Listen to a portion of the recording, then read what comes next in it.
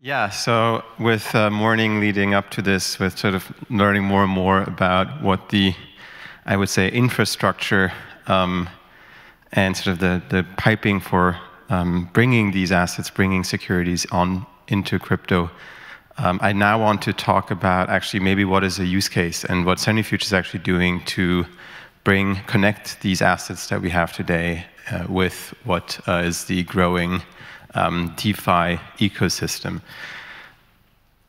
Centrifuge was started in 2018 with the mission um, to change the rules of global trade. Um, and that means if you think of trade, well, there's obviously the, the, the goods and the services that move, but well, the other half of global trade, of course, is the money that moves around. And so this is um, a bit of my background, um, the background of our founding team, in sort of helping businesses unlock um, their working capital, unlock their assets, sort of turning them, getting, giving them access to liquidity. And so with that, um, when uh, we initially started looking at what is blockchain as a technology and what is sort of Ethereum as an open ecosystem doing that could be beneficial for businesses around the world, the, um, the idea, of the focus immediately started going towards, well, how can we allow businesses to borrow money against assets they already have um, in, in this new ecosystem? And so I want to maybe show, talk a little bit about the motivation and the opportunity here. Um, I think sort of what we know today, um, these are maybe the two most extreme numbers I could find, but um, Google or Google or Alphabet made headlines um, earlier this year when they issued a record bond at uh, 0.53% uh, interest rate for $10 billion, and they sold it. This is in contrast to the like average um, uh, cost of capital for a short-term um, uh, SME loan that is usually like north of 15%, uh, including transaction fees and, and all that.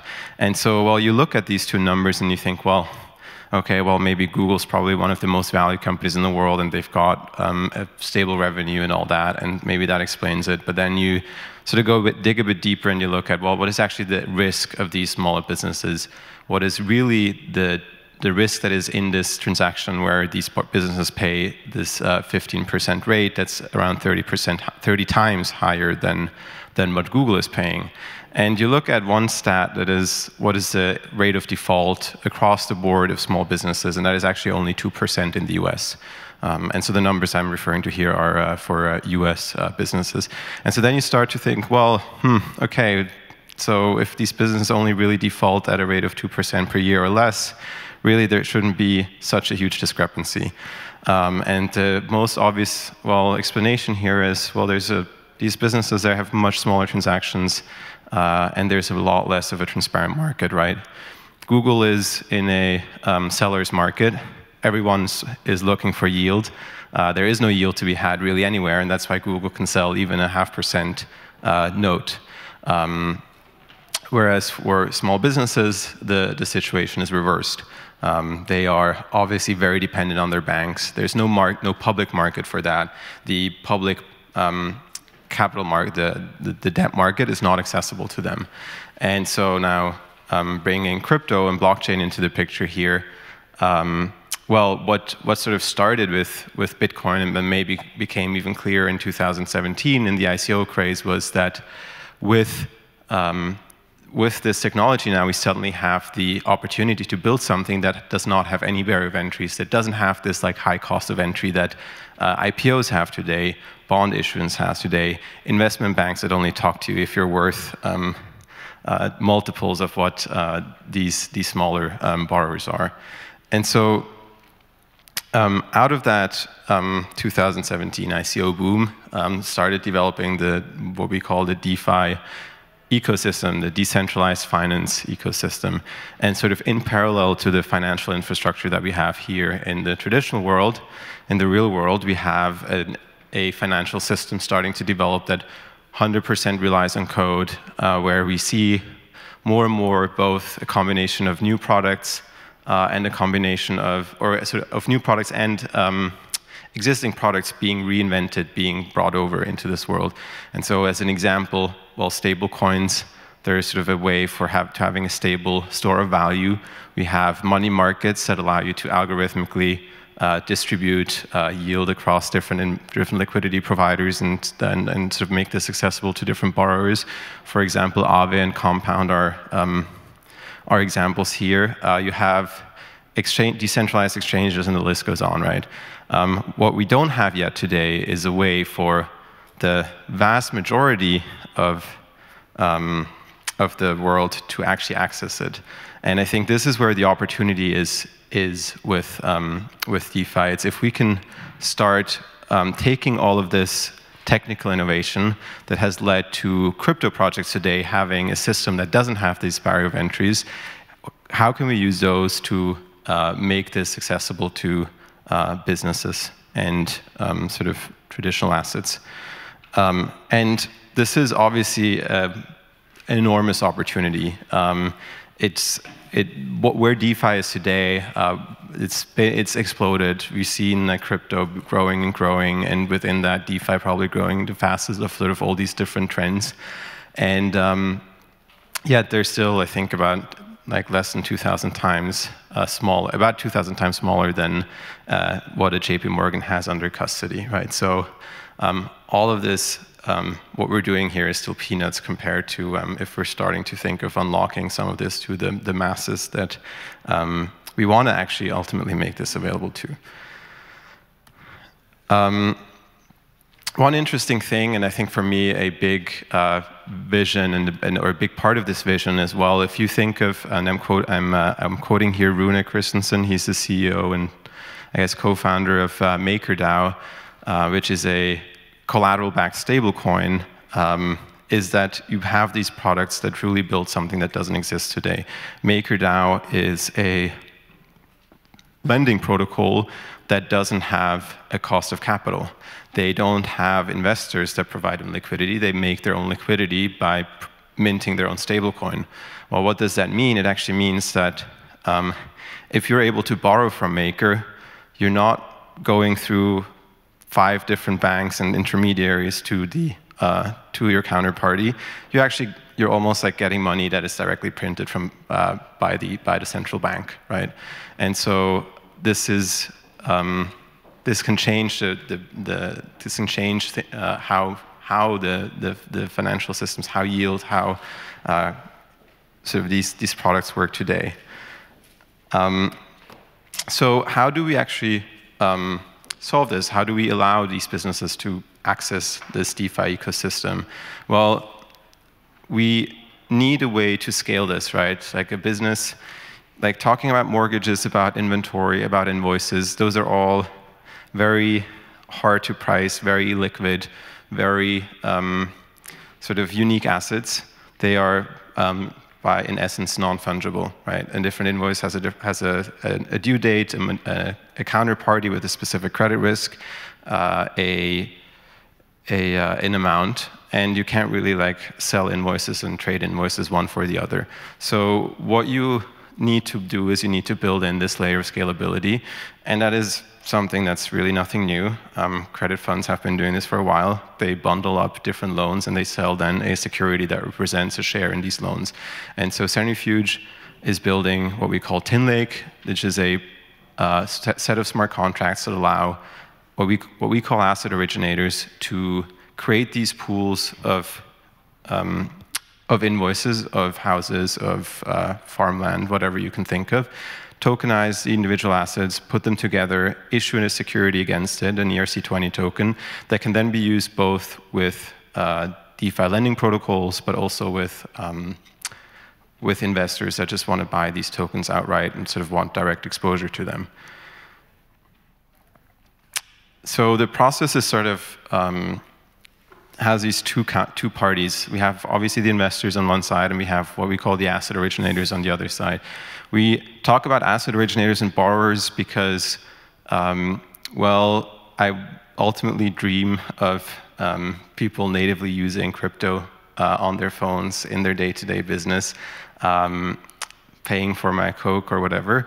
I would um, I think today say that unless you're a software engineer, you're not really able to do that because of the complexity that we're still quite far away from actually getting there. So asset originators for us are the sort of intermediate that is necessary, that is taking these existing businesses and, and giving them the fiat that they want, and in turn interacting with the blockchain and accessing the liquidity, turning that liquidity into fiat and vice versa, turning the assets into something that the DeFi ecosystem can use.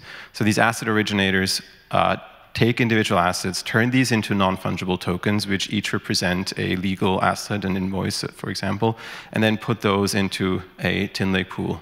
A Tinlake pool then issues an ERC20 token that uh, is an interest-bearing uh, token that you can then buy and uh, hold to get uh, to earn your interest on that portfolio of loans. So with, I think, sort of the idea of Bitcoin um, and how it was founded most likely was in very, in very large parts motivated by this radical transparency, this control that, that um, cryptocurrencies give everyone, not just certain entities over the system. And so sort of thinking of, well, how do we bring these assets into DeFi? We haven't really achieved much if all that we're doing is we're taking some asset that exists today, uh, with this one piece of paper claiming that now this piece of code is suddenly worth what this, or suddenly represents this asset, and there's not really a, a way actually to follow through all of this, um, to, so to, to, to verify all of this information on chain. And so from, um, from a DeFi perspective, what we want is we want a process that is secure, trustless, and um, can be verified by anyone, right? So we want to avoid this black box that is, uh, the asset originator does something, the investors are ultimately expected to trust that the asset originators do what they're doing and that these assets actually do exist in the real world and that the legal paperwork was properly filed, that there is a, uh, that there is a valid claim against them. Um, because otherwise you just have another um, exit scam or a fraud on your hands. Um, so we solve this problem actually by introducing a third entity into this system that we have, where we have the asset originators, which are basically the issuers. Um, they sell these tokens to investors, but for uh, these tokens actually to be worth something, the investors need to do their due diligence on the issuers. They need to trust them. But with, with underwriters, we can actually change this. We can create a third entity of users that um, that take on this work and do this work for both the asset originators and the investors. And so when we think of credit underwriters in today's world, um, their business model is usually, uh, well, maybe a, a, ratings agency is just getting paid a flat fee for put whatever stamp they're putting on on, the, on your bond. Uh, maybe a data modeling company like a, a Clearview, for example, in the US, a, a real estate company, they're getting paid for uh, just sort of giving a, an estimate on, on the, the value of a house. All of these things, they don't really come with having something at stake. Like they don't incentivize underwriters to actually do something. And what we have with, with sort of encoding this entire credit fund that we're now building step by step in code is actually we have this capability to not just take our existing process that was developed over the years, mostly based on paper contracts that uh, many, probably like 50 years ago, were still typed on typewriters. Actually, today we have a system that works every second in code where the scale and the sort of control of all of this is obviously radically different. And so in the same way, we think actually, well, we don't want underwriters just put their stamp of approval on this uh, on the security and say this is a AAA rated or a B rated. We want to take underwriters and turn them into a, a part of this ecosystem where they put something up and they have something at stake to um, sort of underwrite these individual assets. So um, I want to use an example um, of one of our users, ConsolFreight. They are um, a freight for they are a freight forwarding platform. They allow um, freight forwarders sort of to manage their transactions, share share cargo, share orders, pool um, and sort of just transact with their buyers. They have a network of freight forwarders that are using their product today to, um, to just ship goods around the world.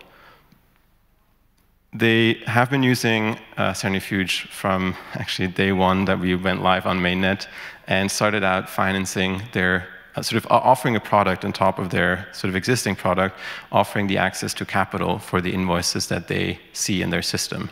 And so through ConsolFreight, you could consider ConsolFreight a very early um, fintech company. They have been um, sort of looking at, they have a, a, a customer relationship, these shippers that use their product, they have, these shippers need access to capital, and so now they're thinking of, okay, how do we provide them this access to capital, not with the bank, but with um, well, using liquidity that exists on chain.